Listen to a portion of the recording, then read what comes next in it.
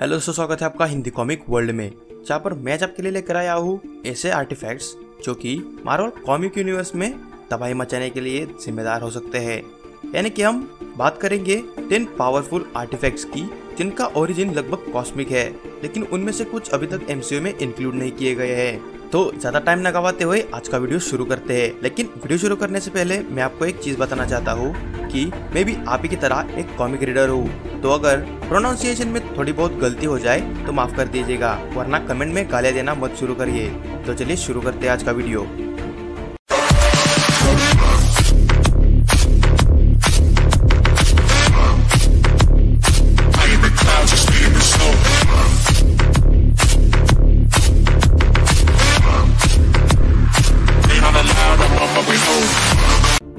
बहुत समय से मार्वल फैंस जानते हैं कुछ आर्टिफैक्ट्स के बारे में, जैसे कि इन्फिनिटी गाउंटलेट और इन्फिनिटी स्टोन्स और बाकी भी बहुत सारे।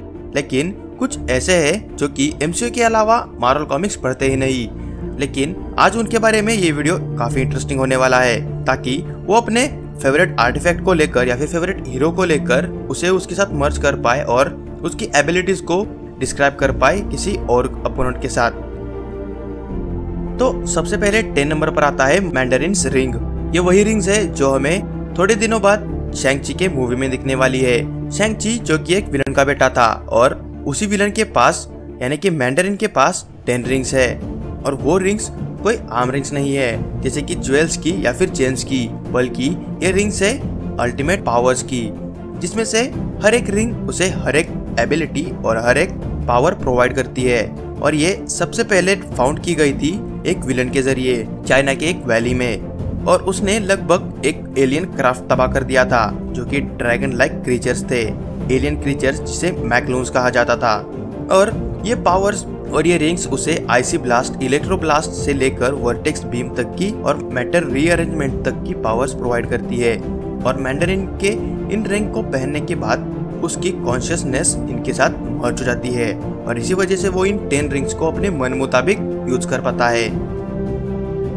नेक्स्ट है वॉचर्स आई तो ये कॉस्मिक आर्टिफैक्ट है, जो कि कॉस्मिक एंटिटी के आग के ज़रिए बनाया गया। या फिर यूँ कहिए कि एक कॉस्मिक एंटिटी के ही आग के बलबूते पर ये आर्टिफैक्ट बना। जिसका नाम था? उटू आटू वाटू जिसका नाम था उटू जो कि एक वॉचर है, और ये एक कॉस्मिक बींग है, जो कि मून पर है अर्थ के मून पर। लेकिन ये सिर्फ़ मार्वल कॉमिक्स में है। आप सच में मून मत ढूँढने जाना। और ओरिजिनल सिन के स्टोरी लाइन के बाद उटू मार्वल हीरोज को मरे हुए हालत में मिला। उसकी आँखें निकाली हुई थी और उन्हें यह पता चला कि इस क्राइम के लिए निक फ्यूरी ही जिम्मेदार है। और उटू की आँखें निकालने के बाद जिसने उन आँखों को पहना या फिर जिसने उन आँखों को अपने पास रखा, वो आके उसे सब देखने के लिए अलाउ करती थी। यानी कि वो वॉचर की तरह ही सब इवेंट्स देख सकता था। Ultimate nullifier. अल्टीमेट नलीफायर एक कॉस्मिक वेपन है, जो कि मार्वल यूनिवर्स में बहुत ही खतरनाक माना जाता है। और ये सबसे पहले देखा गया फैंटेस्टिक फोर और गैलेक्टस की बैटल में। अल्टीमेट नेलीफायर चुराया गया ह्यूमन टॉर्च और उठू के ज़रिए। और ये आगे काम आया रीड रिचर्ड के, जिसने इस हथियार का इस्तेमाल करके गैलेक्टस को धमकी दी और गैलेक्टस को डराकर उसे अर्थ से दूर भेज दिया। और बस इतना ही नहीं, बल्कि ये आर्टिफैक्ट वेल्डर के इच्छा के अनुसार ही काम करता है। उसे ऑल पावर एंटिटी बनाता है और इसी के साथ वो पूरी टाइमलाइन को इरेज कर सकता है मल्टीवर्स से। इसी वजह से ये ऑल पावरफुल कॉस्मिक वेपन है। अगला है cosmic cube cosmic cube next artifact है हमारी लिस्ट में और इसके काफ़ी सेवरल वर्जन देखे गए हैं और यही कॉस्मिक क्यूब हमें देखने को मिली है मार्वल कॉमिक्स में कैप्टन अमेरिका में। जिसकी वजह से कैप्टन अमेरिका सुपर सोल्जर बना और एक cosmic cube reality alternating energies provide करती है, जो कि बेयंडर के पास है। तो इस वजह से ये एक मोस्ट पावरफुल वेपन है और मोस्ट रिसेंट कॉस्मिक क्यूब का इवेंट है सीक्रेट एम्पायर, जहाँ पर सेंटियंट पीस, जो कि कॉस्मिक क्यूब का था, जिसे कोबिक कहा जाता था, जिसकी मदद से हाइड्रा ने कैप्टन अमेरिका को अपना वफादार बना लिया। लेकिन आखिर में स्टीव रॉजर्स ने कोबिक को कन्विंस कर लिया कि वो वापस सब कुछ ठीक कर दे। अगला है क्वांटम बैंड्स तो ये एक पावरफुल वेपन है कॉमिक यूनिवर्स में। क्वांटम बैंड्स डिज़ाइन किए गए हैं इयन के ज़रिए, जो कि यूज़ किया जाता है प्रोटेक्टर ऑफ़ यूनिवर्स के लिए। और जैसे ही कोई इसे पहनता है तो इयन के ये आर्टिफैक्ट्स उसे बहुत सारी पावर्स प्रोवाइड करते हैं। और ऑफ़ कोर्स इन्हें कहा जाता है कॉसर और ये बैंड सिर्फ़ वेल्डर को कुछ पावर्स ही नहीं, बल्कि बहुत सारी एबिलिटीज भी प्रोवाइड करते हैं। जैसे कि एनर्जी ड्राइव करना क्वांटम रेम से। भले ही ये एक क्वांटम आर्टिफैक्ट हो, लेकिन फिर भी ये बहुत ज़्यादा पावरफुल है। और ये electromagnetic spectrums warm holes open करने के लिए और स्पेस के थ्रू ट्रैवल करने के लिए, साथ साथ एनर्जी डिटेक्ट करने के लिए और जिन्होंने इस बैंड्स को पहना है, उस वेल्डर को प्रोटेक्ट करने के लिए काम में लाए जाते हैं। अगला है फिनिक्स ब्लेड हमने फिनिक्स फोर्स को देख ही चुके हैं एक्समैन की मूवीज़ में, और साथ ही साथ इसका ओरिजिन भी उसी की तरह है। ये एक पावरफुल स्वाड है मार्वल यूनिवर्स में। इसका ओरिजिन कॉस्मिक ही है। फिनिक्स का दूसरा वेल्डर यानी के रुक्शीर जिसका वेपन था एक स्वॉर्ड और रुक्शीर ने काफ़ी समय तक इस फिनिक्स फोर्स को अपने अंदर समा के रखा था, और इसी के साथ शियार अंपायर तबाह हो चुकी थी।